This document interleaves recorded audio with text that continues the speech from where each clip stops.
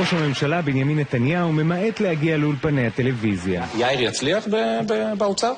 שאלה רצינית מדי לטלוויזיה. בוא, בוא נדבר על זה בפייסבוק. אם הוא כבר עושה את זה, עדיף שזה יהיה בפלטפורמה הנוחה, ההומוריסטית, של ארץ נהדרת. אבל אם אבו מאזן בא ואומר לך, עזוב, אני מסכים להכל, ירושלים, זכות השיבה, אה, גושי התיישבויות, הכרה, הכל, אתה חותם? תביא את זה ונדבר. ונדבר. אה, בוא נשב. בקיצור, אנחנו נמרח אותם לעוד ארבע שנים, אל תדאג.